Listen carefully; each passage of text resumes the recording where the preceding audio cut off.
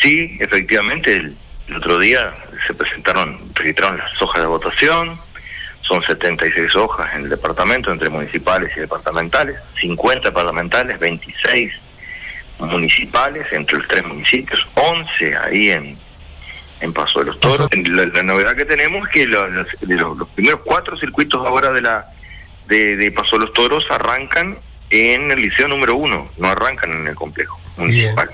Que sí que las personas de más edad van, los primeros cuatro circuitos van a empezar en el liceo uno.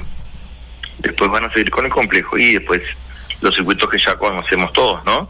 este, que ustedes le están dando difusión. Lo que sí le quiero transmitir a los miembros de la Comisión Receptora de Votos, si aún no han recibido la, la, la, la notificación, que es la el curso virtual, este, ah, van a recibir un, eh, con el número de credencial en minúscula y, una contraseña que es elecciones 2020. Este, van a hacer todo el curso virtual ahí. Este, va a ser muy fácil, muy sencillo, lo van a poder hacer de la casa. Eh, ¿Van a trabajar prácticamente los mismos que la gente de la Corte, de la eh, Comisión Receptora de Votos, son los mismos que han trabajado en las elecciones o algún cambio?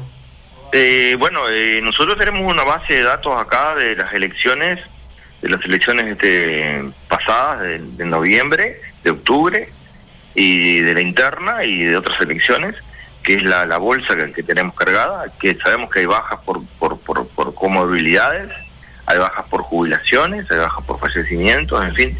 Este, y bueno, todas esas cosas este, las estamos teniendo en cuenta. Tenemos cierta dificultad en el armado de las mesas. Este, por lo menos en la, parte de suplentes y, facilitadores, este, las mesas están constituidas, pero al límite, ¿no?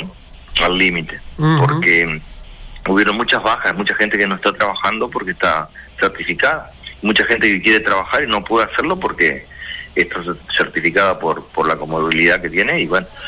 Eh, nos consultan acá, por ejemplo, mayores de 80 años, ¿tienen que votar?